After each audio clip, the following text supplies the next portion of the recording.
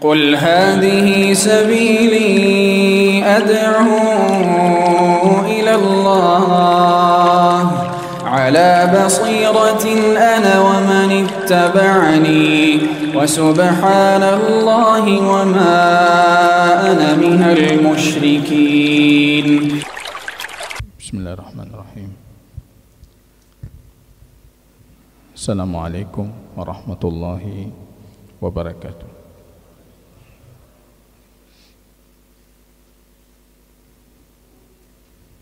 الحمد لله رب العالمين. نحمده ونستعينه ونستغفره. ونعوذ بالله من شرور أنفسنا وسيئات أعمالنا. من يهده الله فلا مضل له ومن يضلل فلا هادي له. أشهد أن لا إله إلا الله وحده ربي لا شريك له وأشهد أن محمدا عبده ورسوله صفيه من خلقه وخليله صلى الله عليه وسلم وعلى آله وصحبه الكرام. يقول ربنا جل شأنه في محكم تنزيله يا أيها الذين آمنوا اتقوا الله حق تقاته ولا تموتن إلا وأنتم مسلمون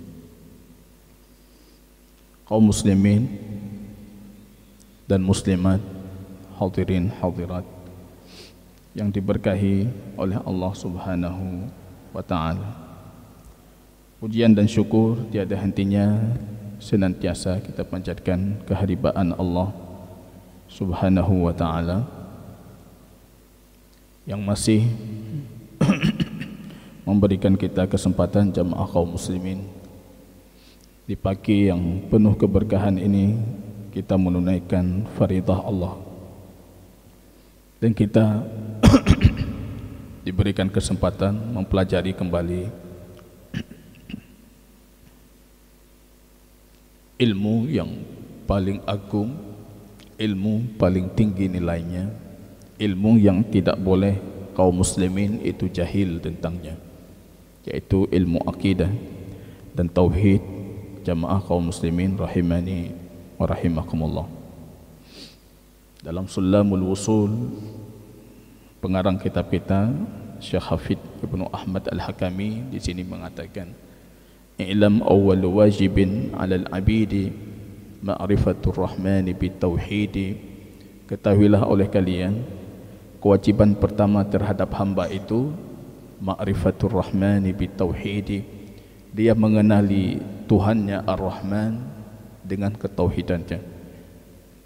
Idh huwa min kullil awamiri a'zamu. Karena kalau dibandingkan semua perintah yang pernah Allah berikan maka perintah paling agung itu perintah mentauhidkannya jamaah kaum muslimin rahimani wa rahimakumullah kita doakan kepada Allah agar tercurahkan salawat dan salamnya kepada baginda Rasul Muhammad sallallahu alaihi wasallam. Kaum muslimin yang berbahagia melanjutkan materi yang sudah kita hentikan selama bulan suci Ramadan dari kitab A'lam As-Sunnah Al-Mansyurah atau yang lebih kita kenal dengan 200 soal tanya jawab tentang akidah Islam. Di pembahasan terakhir jamaah kaum muslimin rahimani wa rahimakumullah kita berbicara tentang dua bentuk sifat Allah Subhanahu wa taala ada dua jenis sifat Allah Subhanahu wa taala yang diklasifikasikan oleh ahlu sunnah wal jamaah dalam menetapkan sifat-sifat yang layak atau sifat-sifat yang Allah tetapkan untuk dirinya. ada sifat yang kita namakan dengan sifat dhatiyah diingat kembali pumantang tingat ya. Nasifut dhatiyah dan ada sifat satu lagi apa? Fi'liyah. Kita ada hadiah di depan ini. Siapa yang mampu menjelaskan apa perbedaan sifat datiyah dengan sifat fi'liyah itu. Ya, kitab paling besar kita berikan. Ini terjemahan dari kitab yang kita ampu ini. Akidah golongan selamat. Kupas tuntas akidah, akidah dan cara beragama ahlu sunnah wal jamaah. Ya, siapa yang silakan.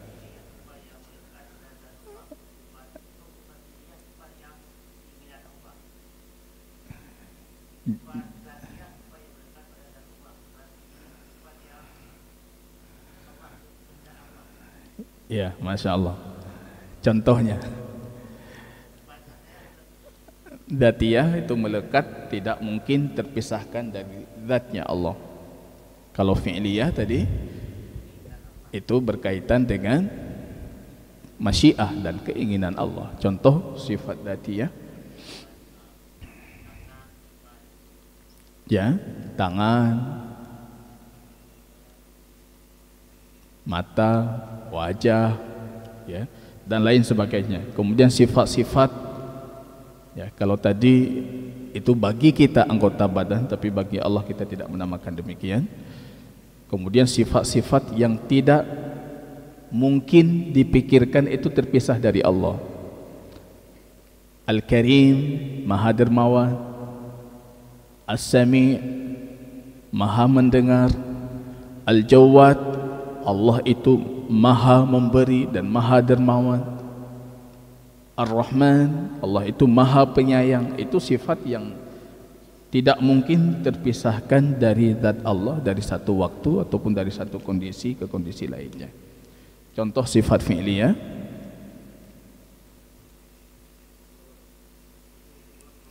nuzul turunnya Allah. Masya Allah ini yang akan kita pelajari hari ini. Assalamualaikum khairan Barakallahu fikum. Beliau pedagang tapi masih ingat. Kita berfikir pedagangnya nyetingat peng tagair paji ilmu petingat tapi malu kita ini yang masih muda katua ya, ini jamaah kaum muslimin rahimani rahimakumullah. Kita lanjutkan jamaah kaum muslimin. Pada pertemuan yang lalu sudah kita jelaskan itu sifat datiyah. Tidak kita detailkan per sifat. Itu memakan waktu yang panjang. Kita lanjutkan dengan sifat af'al atau sifat fi'liyah. Yang harus kita garis bawahi jawab kaum muslimin rahimani wa rahimakumullah. Fa'alun lima yurid itu dalam Quran surat Hud Allah itu fa'alun. Fa'alun itu bentuk sirah mubalaghah dari melakukan melakukan dalam kondisi terus menerus dan banyak. Lima yurid ya, ini ini yang kita jadikan sebagai asas pembahasan sifat fi'li fi'liyah. Apa yang dia kehen, kehendaki fa'alun lima yuri Allah itu melakukan dan selalu melakukan apa yang Allah kehendaki ini ini harus dibuka telinganya betul-betul harus dipahami betul-betul ketika anda menafikan sifat fi'liyah untuk Allah anda sudah membatasi Allah untuk kerjanya Allah. Tiba-tiba anda mengatakan Allah tidak beristiwa.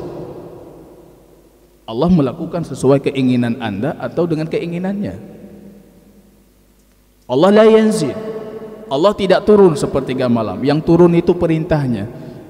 Anda membatasi kerjanya Allah sehingga menjadikan kerjanya Allah itu sesuai keinginan anda atau sesuai dengan keinginan Allah. itu jamaah kaum muslimin yang menafikan sifat fi'liyah secara tidak langsung, sadar tidak sadar. Dia sudah melakukan kejahatan yang besar. Mengatur Allah untuk kehendak dan keinginannya. Allah itu fa'alul lima yuri. Itu saja konsepnya. Ketika Allah mengatakan melakukan ini, itu keinginannya. Untuk apa kita membatasinya? atau kita meyakini pembatasannya yang menunjukkan kekurangan Allah. Allah itu fa'alun lima yurid. Itu yang jadi landasan ahlus sunnah dalam menetapkan semua sifat fi'liyah. Karena sifat fi'liyah itu sifat berkaitan dengan masyiah dan kehendak. Ketika anda mengatakan Allah tidak melakukan itu, padahal Allah mengabarkan melakukan itu. Anda sedang mengatur kehendaknya Allah. Betakun Allah urung syik tagait. Kita atur orang tua kita. Ya neja. Bengih urung syik kita. Allah itu fa'alun lima yuri. Kalau itu sudah terbangun di kepala kita, Allah melakukan segala yang Allah kehendaki. Apa yang dia kehendaki pasti terjadi walaupun semua makhluknya tidak menghendaki semua makhluknya menghendaki kalau sekiranya Allah tidak menghendaki itu tidak terjadi. Itu nilai tauhid yang semenjak dini diajarkan oleh baginda Rasul sallallahu alaihi wasallam untuk generasi pemula. Untuk remaja anak kecil. Ya Ibn Abbas labbaik ya Rasulullah. Naik berbonceng dengan Ibnu Abbas. Ibnu Abbas di belakangnya Ya Ibnu Abbas labbaik ya Rasulullah labbaik ya Rasulullah. Aku hadir wahai baginda Rasul. Aku siap menerima perintahmu. Apa kata baginda Rasul dalam hadis yang panjang itu? Ihfadillah yahfazka ihfadillah tajidhu tujahaka. Walau istama'al insu wal jin manusia berkumpul jin berkumpul fi sa'idin di satu lembah di satu wadi besar. Untuk mendatangkan satu mudarat untukmu itu tidak akan terjadi kecuali apa yang sudah Allah kehendaki dan tetapkan itu ilmu dasar dalam tauhid dan akidah kita. Dan itu ilmu dasar yang kita tanam pada generasi muda anak-anak kita dari semenjak dini ta'til terhadap sifat Allah al-fi'liyah itu ada masalah dengan konsep dasar itu. Sehingga mereka berkeinginan hanjit laginya Allah baik laginya. Allah tidak seperti itu. Padahal Allah mengatakan seperti itu. Ini jamaah kaum muslimin rahimani wa rahimakumullah. As-su'al al-wahid wasitun soal ke-61. Ma misalu sifatil af'ali minal kitab? Jadi anda bertanya Apa contohnya sifat fi'liyah itu Yang pernah Allah sebutkan dalam Al-Quranul Karim Dan ini kembali lagi saya tegaskan Beginilah konsep akidah kita. Sumbernya cuma sumber wahyu. Kita tidak pernah membuka sedikit pun celah untuk sumber lain selain wahyu.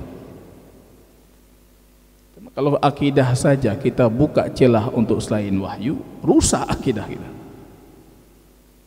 Akidah main perasaan, akidah main akal-akalan, akidah main ilham-ilham yang tidak pasti. Padahal ilham itu sudah terputus ya dengan terputusnya nubuah. Apa contohnya? Sifat fi'liyah itu dari Al-Quranul Karim.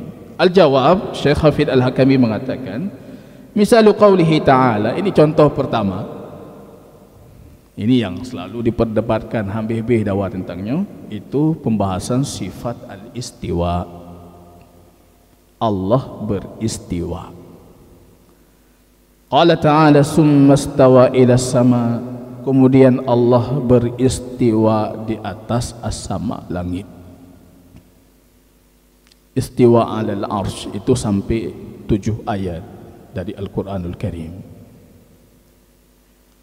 Ar-Rahman alal arshi istawa tujuh ayat Ada lagi istawa ila sama, kemudian Allah beristiwa di atas langit.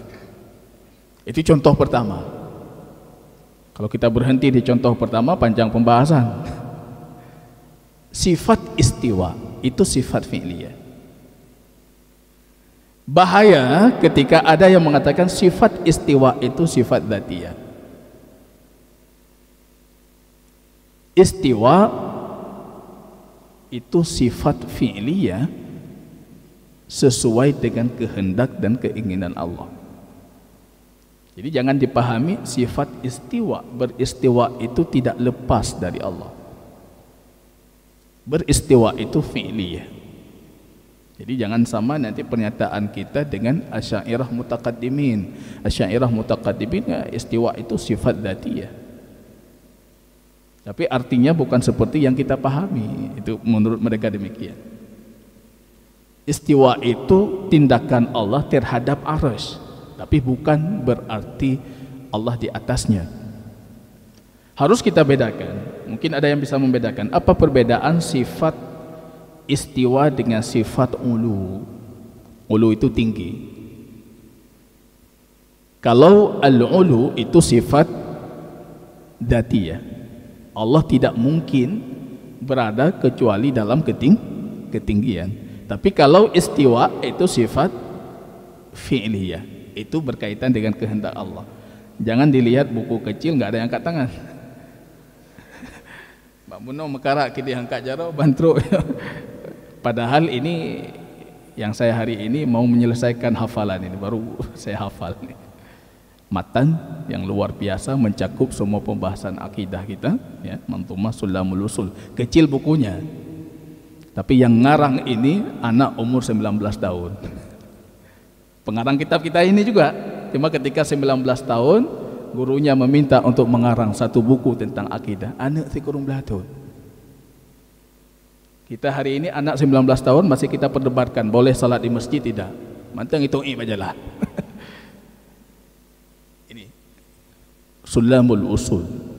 Nanti kemudian hari beliau syarah ini Ma'arijul Qabul jadi kitab besar. Apa perbedaan al-ulu dan istiwa? Jadi kalau bisa jawab itu sudah jadi ahli tauhid saya rasa. Apa perbedaan ulu? Ulu itu sifat ketinggian. Tidak terlepas dari Allah. Jadi ketika ada yang bertanya, Allah turun.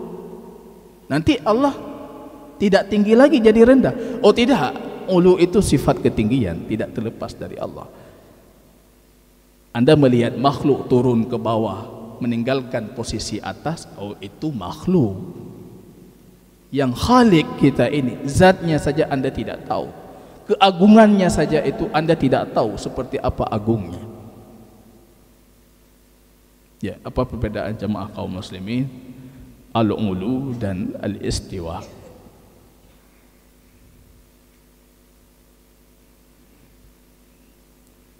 Al-ulu tadi kita dari satu sisi mengatakan apa? Al-ulu itu sifat da datiyah bukan fi'liyah. Kalau al-istiwa itu sifat fi'li fi'liyah. Al-ulu tanpa dalil pun bisa ditetapkan dengan akal. Karena anda tidak mungkin memilih untuk Allah kerendahan. Semua arah selain tinggi itu arah relatif. Kecuali tinggi. Tinggi itu bukan relatif. Jadi kalau orang mengatakan Allah itu tidak bisa ditetapkan ketinggian untuknya. Yang relatif itu arah selain tinggi. Tinggi itu tidak ada relatif. Paling tinggi sudah selesai. Mentok tingginya Walaysa fawqahu syai, tidak ada di atasnya. Tapi kalau arah lain itu relatif. Anda berdiri di tempat lain, arahnya akan berbeda. Anda balik ke arah lain, menghadap tempat lain, itu sudah berbeda. Ulu itu bisa ditetapkan dengan akal.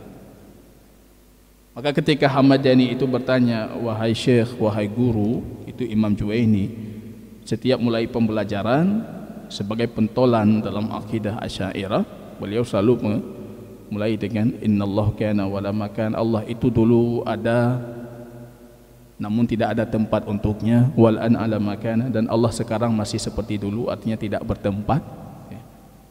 tapi ketika doa ramai-ramai angkat tangan ke atas muridnya Hamadani bertanya ya Syekh mad darurah? Kenapa kita harus angkat tangan ke atas kalau Allah bukan di atas? Ini Hamadani muridnya itu menetapkan sifat ketinggian untuk Allah dengan akal. Kau pun dapat jarawati. Allah hanawati. Hayarani Hamadani. Itu juga ini sampai memukul kepalanya. Nyoh Hamadani nyo sudah membingungkan saya. Ya, tak putus tahu lelum dia memukul kepalanya. Hayarani Hamadani. Tapi kalau istiwa jamaah kaum muslimin anda tidak bisa menetapkan dengan akal kalau tidak ada Quran tidak ada sunnah anda tidak tahu Allah itu punya sifat istiwa karena ada ayat yang mengatakan summastawa ila sama Allah itu beristiwa ke atas langit. Kita tetapkan. Kita tetapkan istiwa. Istiwa itu apa dalam bahasa Arab? Istiwa itu berarti as-su'ud wal ulu wartafa meninggi, tinggi, naik itu arti istiwa. Wal istiqrar menetap tidak ada arti istiwa dalam bahasa Arab itu yang berarti julus, duduk. Duduk bukan arti dari istiwa. Jadi jangan salah kaprah. Duduk bukan arti istiwa. Jadi kalau diterjemahkan Allah bersemayam, bersemayam itu punya arti duduk. Dalam kamus besar bahasa Indonesia, KBBI, salah satu arti dari bersemayam itu duduk duduk. Kita tidak menetapkan itu. Jangan diterjemahkan bersemaya. Allah beristiwa. Bukan semua kosakata bahasa Arab itu bisa kita terjemahkan. Berarti meninggi di atas. Summastawa ila sama. Kemudian Allah beristiwa. Sampai abad sekian itu sampai zamannya Imam Abu Hasan Al-Ash'ari istiwa ini tidak dinafikan oleh ahlu sunnah. Tidak ada perdebatan tentang istiwa. Yang ada cuma orang Haruri ya. Kalau kita buka kitab Al-Ibana an Usuli Diyana itu Abu Hasan Al-Ash'ari. Beliau mengatakan ammal Haruriyah, orang Mu'tazilah, orang Haruriyah, orang Khawarij itu. Mereka mengatakan istiwa Ar-Rahmanu ala istawa. Mereka mengatakan istila menguasai al-qahar menaklukkan. Mereka membawa arti sifat istiwa ini menjadi sifat kudrah kemampuan kemampuan menguasai kemampuan menaklukkan. Malaka memiliki. Allah beristiwa di atas aras Allah menaklukkan aras Allah memiliki aras ataupun Allah beristila menguasai arus ataupun kahar Allah mengalahkan arus artinya menaklukkan arus beliau mengatakan dzalika laisa qaulul haq itu bukan pendapat itu kata Abu Hasan Al-Asy'ari itu bukan pendapat ahli haq karena ahli haq itu menetapkan istiwa kama yaliku bi jalalihi sesuai dengan keagungan Allah. Dan tidak ada lawazim batil. Lawazim batil itu lahir dari otak kotor. Dari pemikiran yang kotor.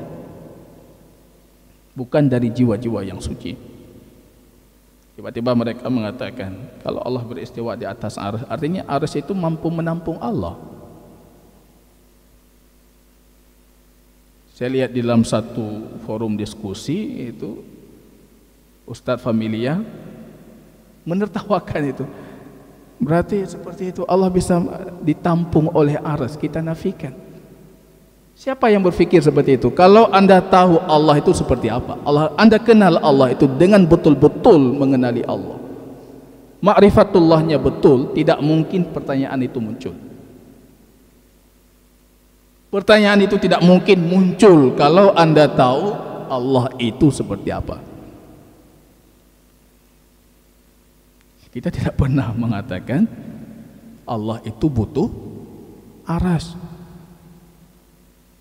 Maka pondasinya sudah kita jelaskan sebelumnya. Allah itu ghaniyun an kulli syai. Jamaah kaum muslimin rahimani wa rahimakumullah. Para ulama ahlu sunnah itu ketika berbicara sifat datiyah dan sifat fi'liyah ini mereka mengembalikan kepada dua nama dan sifat keagungan Allah itu Al-Hayyu Al-Qayyum. Ini coba dipahami betul-betul dulu. Al-Hayyu Allah itu maha hidup. Kesempurnaan hidup untuk Allah.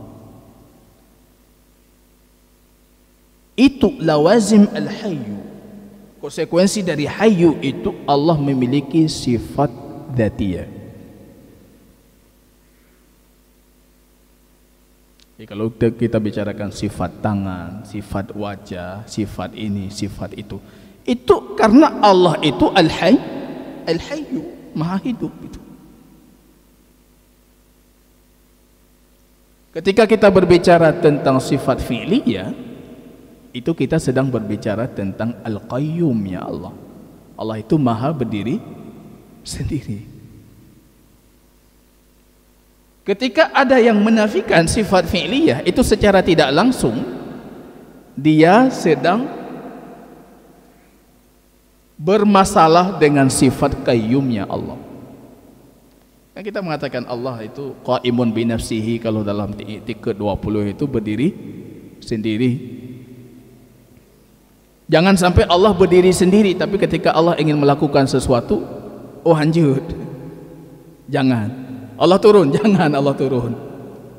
Allah beristiwa, jangan Allah beri. Itu Anda punya masalah dengan qayyum. Anda harus meyakini Allah itu al-qayyum, maha berdiri sendiri, bisa melakukan segalanya sendiri, tidak butuh terhadap makhluknya. Kalau itu pondasi akidah, kenapa anda bertanya? Jadi Allah butuh aras. Padahal dalam i'tikad 20 saja kita mengatakan qaimun binaf binafsi. Kok tiba-tiba anda mengatakan Allah butuh aras?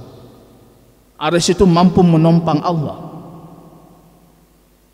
Kok tiba-tiba kita mengatakan oh ini berlawanan dengan sifat nuzul Allah turun? kita mengatakan itu kehendak Allah ini kehendak Allah al-kif bagaimana kita tidak mengimani bagaimana karena yang Allah kabarkan cuma kabar Allah turun kabar Allah beris beristiwa jadi ahlu sunnah mengatakan kalau ada ahli batil bertanya kepadamu bagaimana Allah beristiwa bagaimana Allah turun katakan kepada mereka kita mengimani apa yang Allah kabarkan Allah tidak pernah mengabarkan bagaimana turun, kita tidak mengimaninya bagaimana turun. Bagaimana Allah beristiwa, kita tidak mengimaninya. Cuma ketika Allah mengatakan Allah beristiwa, kita imani Allah beristiwa. Makanya ketika datang itu dalam hadis apa namanya Athar Imam Al-Baihaqi. Dalam riwayah itu datang ke gurunya Imam Malik Rabi'ah. Dalam riwayah yang lain itu datang kepada Imam Malik sendiri. Pemuda itu datang kepada Imam Malik itu bertanya tentang bagaimana Allah beristiwa. Bukan bertanya istiwa itu harus kita imani tidak. Maka Imam Malik memfonis pemuda itu sebagai mubtadi pelaku bid bid'ah Kaifa yastawi? Ini anak muda itu bertanya. Bagaimana Allah beristiwa? Imam Malik atraka ra'sahu. Wadah jabinahu. Keluar keringat Imam Malik itu. Bagaimana Allah beristiwa? Rejulai Imam Malik itu biru. Ini masalah besar. Yang tidak sepatutnya anda tanyakan. Bagaimana Allah beristiwa? Imam Malik mengeluarkan pernyataan yang masyhur sekali baik yang menetapkan atau yang menafikan berdalil dengan perkataan itu. Al-istiwa ma'lum kata beliau. Semua kita tahu apa arti istiwa. Tak perlu diperdebatkan itu Anda Arab, saya Arab. Kita tahu istiwa itu artinya apa. Apa istiwa itu berarti istilah menguasai? Tidak? Khalil Al-Farahidi imam besar dalam bahasa Arab beliau mengatakan kedustaan untuk orang Arab ketika anda mengatakan istawa itu berarti istawla kami orang Arab tidak paham itu.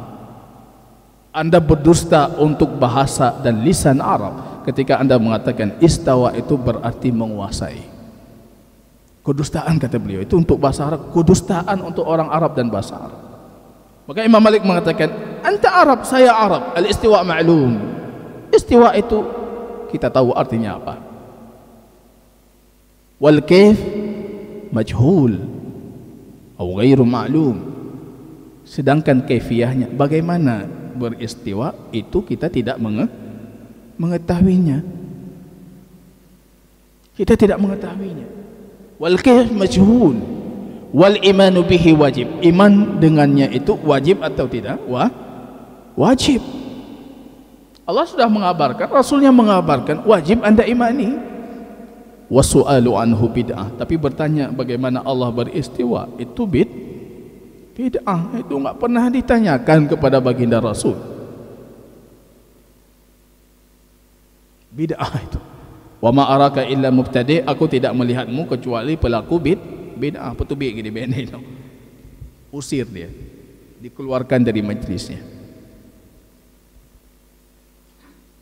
Karena para imam itu sangat memahami. Itu awal gejolak. Bertanya tentang kefiat itu sebenarnya awal mula dari nanti tahrif, ta'til, pembatalan terhadap sifat-sifat Allah. Karena bermula selalu dengan mempertanyakan kefiah je.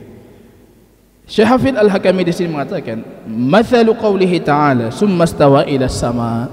Allah beristiwa ke atas langit. Al-Baqarah 29.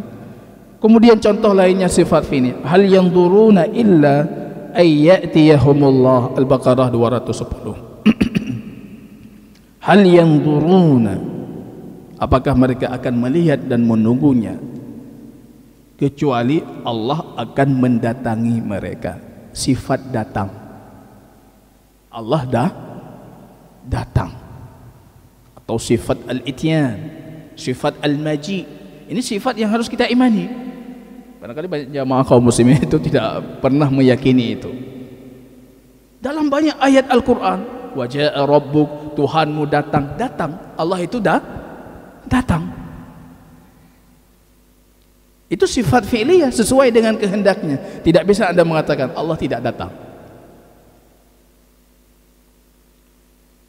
Wajah amru rabbik ada ayat itu yang datang urusan Tuhan, perkara Tuhan, perintah Tuhan.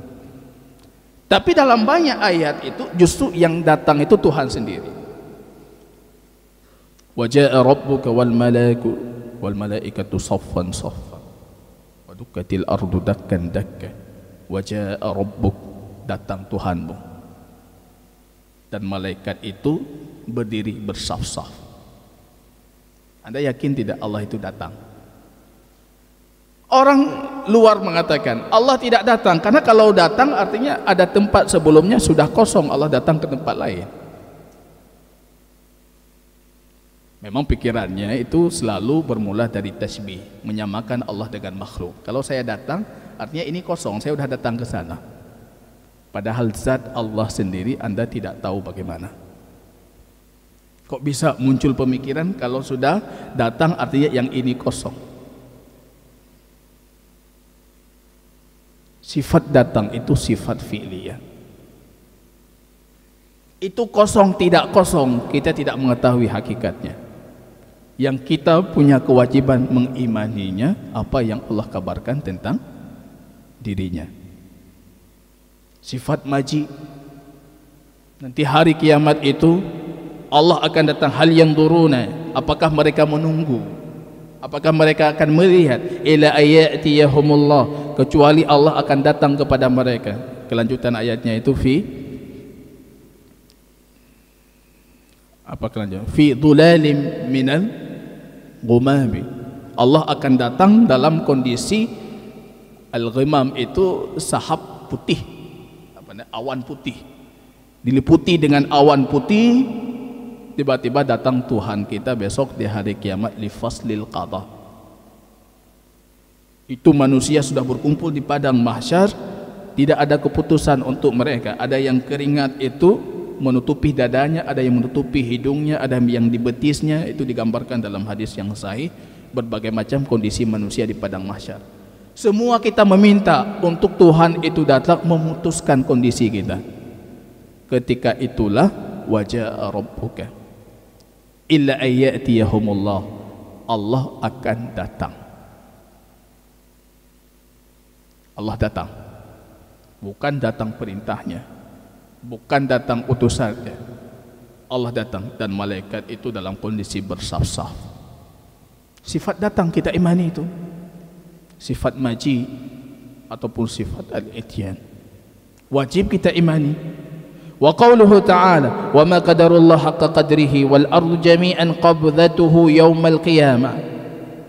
Was samawati matwiyatun bi yaminih mereka tidak memuliakan Allah. Tidak menghormati Allah sesuai dengan haknya sesuai dengan kadarnya. Wal ardu jami'an semua bumi itu qabdatuhu yaumal qiyam berada dalam genggamannya di hari kia, kiamat. Dalam musnad Imam Ahmad justru Adam alaihissalam itu pun khalaqahu biqabdatin. Allah ciptakan dengan satu genggam genggaman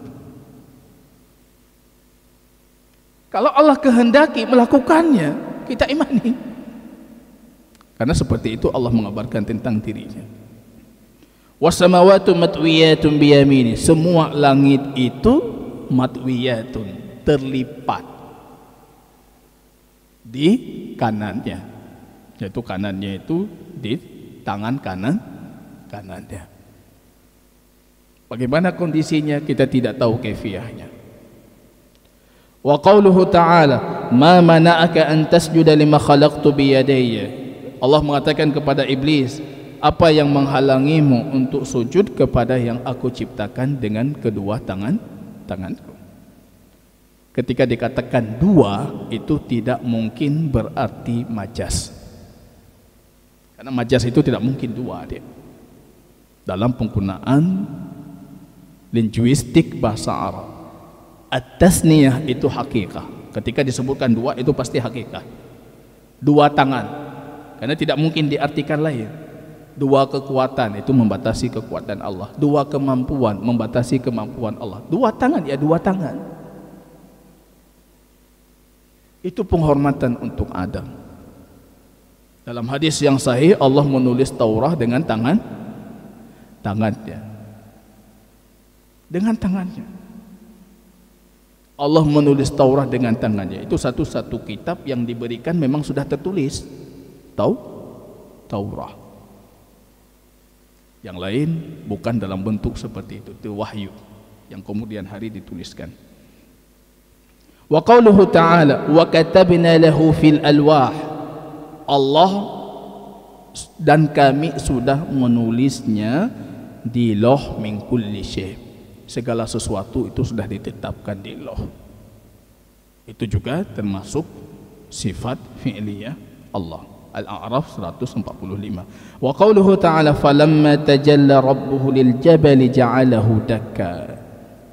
Itu dalam kisah Musa alaihi salam ketika minta meminta untuk melihat Tuhannya, Allah itu bertajalli